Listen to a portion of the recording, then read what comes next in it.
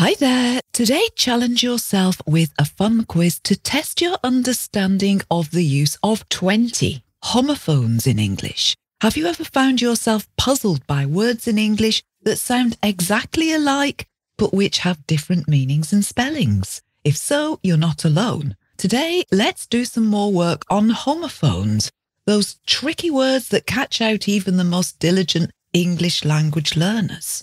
Homophones are tricky because they sound the same but are spelt differently and their meaning is completely different. Let me talk about some pairs of homophones and then if you stay until the end of the podcast, we'll do a fun quiz. You can check your understanding and whether you know the correct spelling of some very common homophones. I'm going with ones you might find easier today because they're so common you've probably met them and you probably know them. But if you don't, they're essential. And the quiz, always good to test yourself. And if you don't do well at the test, don't worry. You'll be learning a lot. And if you do well at the test, then be pleased, pat yourself on the back. Your English language learning is going well, and it feels nice to get everything right. Hello, I'm Hilary, and you're listening to Adept English. We will help you to speak English fluently. All you have to do is listen. So start listening now and find out how it works. Before we leap into homophones, a quick tip. If you're finding some English lessons tough to grasp, difficult that means, and you want to raise your level of English quickly, our most common 500 words course is what you need. It's actually got 600 most common words in it now, a bonus just for you. You can find the most common 500 words course on our website, adeptenglish.com, on the courses page. Let's have a look at what homophones are again and then at 20 common homophones in English. Then the quiz. You'll know some of these already. I've made it nice and easy today. So you'll know K N O W the difference between me replying in the negative, no, that's N-O, and the verb to know, K-N-O-W. Very different spelling, very different meaning, but that's probably the most common example in English of a homophone. So homophones, H-O-M-O-P-H-O-N-E-S, they sound exactly the same. So homo means the same and phone means sound. So you're probably familiar with the difference between NO and KNOW. So let's move on. Another set of homophones you probably know well, right and write. That's R-I-G-H-T and W-R-I-T-E. And if you've ever spent time in the UK, you'll find that Wright, W-R-I-G-H-T, is a very common surname. But let's not mix that one in. Here, the verb to write, W-R-I-T-E, may mean holding a pen and putting words onto a sheet of paper, but more often these days we write something on a computer. So we put words together. That's the verb to write. I have written this podcast and now I'm recording it. But the word right, R-I-G-H-T, means all kinds of things. It could describe which side, your right hand or your left hand. Most commonly, it means to have reason on your side, to be correct. We'd say you're right or that was the right decision. So completely different meanings, but right and right sound the same. What about see and see? One is a verb that refers to what you do with your eyes. If you use your eyes purposefully, you're looking. But if you're just going around with your eyes open and you notice things, then you are seeing. So that one is the verb to see, S-E-E. But if we talk about the sea, that's S-E-A, here we're talking about the ocean. You know this already, right? And don't confuse it with the name for the letter C, will you? Another very common pair of words which are homophones, blue, B-L-U-E, and blew, B L E W. So blue, B L U E, is a colour. the colour of the sky sometimes, and sometimes the colour of the sea. And it's some people's eye colour too. Whereas the word blew, B L E W, is the past tense form of the verb to blow. You might blow on your food because it's too hot and you want to eat it. Or, as happened in the UK last week, the wind blew.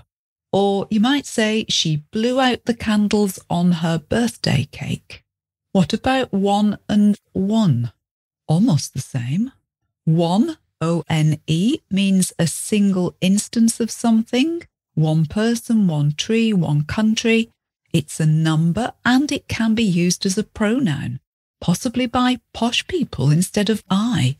But won, W O N, some people would say one, one is again a past tense form of the verb to win as in he won the election. That's referencing my topic in the Monday podcast this week. So we're at 10 homophones so far. Some more? Another set of homophones that are very common hole, H O L E, and whole, W H O L E. If you have a hole in your sock, your toe may be poking through. Or a hole in the ground might be where a rabbit or a fox lives. But if you hear the word whole, W H O L E, this can be a noun, we say the whole of it, or an adjective, the whole apple, then this word means all of it, the whole thing. A very different meaning from the word hole, H O L E, which is what's missing. Let's go back to a really simple one that I'm sure you'll know. What about hear? H E A R and here H E R E. Well, the first one is again the verb to hear. And you can remember this spelling because it's like the word ear, E A R. So to hear is what you do with your ears. And like the difference between to see and to look, to hear isn't intentional, whereas to listen means hearing on purpose. And the word here H E R E is a kind of noun, a kind of adverb. We use it to mean the place that we're in, here, and here for me could mean in the UK or at my house or here on the sofa. And another set of homophones that you probably know through T H R O U G H and threw T H R E W. So through T H R O U G H is a preposition. If you go through a tunnel, you pass into the tunnel, along and out the other side of the tunnel. That's through. Whereas threw, T H R E W, is the past tense of the verb to throw. You might throw a football from the side of the pitch to restart the game, or you might throw a tantrum. We use it in different ways but to throw is a very commonly used verb, and threw is its past tense, and through is a very commonly used preposition. What about bear and bear? Very different meanings. Bear, B E A R, is both a noun and a verb. In its noun form, it's an animal, a big furry animal which roams in places like Canada. An animal to be frightened of, too, a bear but we do also have our teddy bears. If bear, B E A R, is used as a verb, this word means to carry or to put up with, to suffer. People sometimes say in English, I can't bear it, which means I can't put up with it, I can't suffer it. Whereas bare, B A R E, means with no covering or sometimes with no clothes on. So again, very different meanings. The last two common homophones for today, what about great, G R E A T, and grate, G R A T E? Well, I think you know the first one, great. G R E A T is commonly used as an adjective meaning good, to be admired, or large. I might say, this is a great podcast. The other grate, G R A T E, still quite common. As a noun, it's used to mean an object, usually metal with holes in it. So, a grate might be the metal thing that you burn fuel in in your home if you have a fireplace. And also, to grate is a verb, G R A T E. If you're making pizza, you'll probably grate cheese to put on the top. So, to grate, G R A T E, means to use a metal grater to make small pieces of something. Here, cheese, or it could be carrot.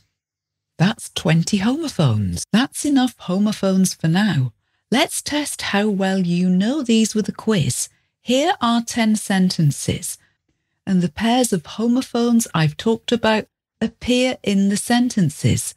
You need to choose which spelling is correct for each one. The answers are in the transcript on the website at adeptenglish.com. I'll say each of these sentences twice you try to write down the correct homophone, the correct spelling of each one. Here goes. Number one, he threw a ball through the window. He threw a ball through the window. Number two, I cannot bear to see his bare bottom. I cannot bear to see his bare bottom. Number three, in here, in this room, I can't hear the music. In here, in this room, I can't hear the music. Number four. No, I don't know his name. No, I don't know his name. Number five. There was a great fire lit in the grate.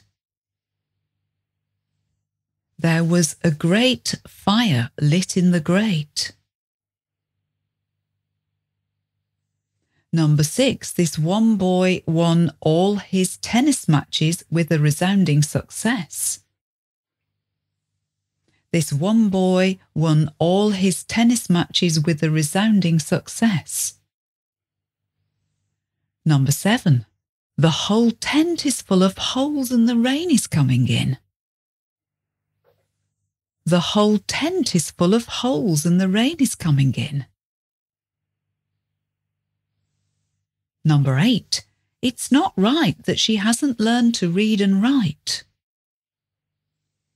It's not right that she hasn't learned to read and write. Number nine, the wind blew even harder as a blue kite went flying past. The wind blew even harder as a blue kite went flying past. Number 10. Can you see the sea over there beyond the sand dunes? Can you see the sea over there beyond the sand dunes? Okay, that's all of them. How did you do? Let me know if that was super, super easy or if it was difficult. It's helpful for us at Adept English to understand your level of English. And we also realise that our listeners have a broad range of levels. It's fun to do a quiz and get it all right. And it's great to do a quiz when you don't get all the answers right because you're learning something. Let us know if you want more homophones. Enough for now. Have a lovely day. Speak to you again soon. Goodbye. Thank you so much for listening. Please help me tell others about this podcast by reviewing or rating it. And please share it on social media. You can find more listening lessons and a free English course at adeptenglish.com.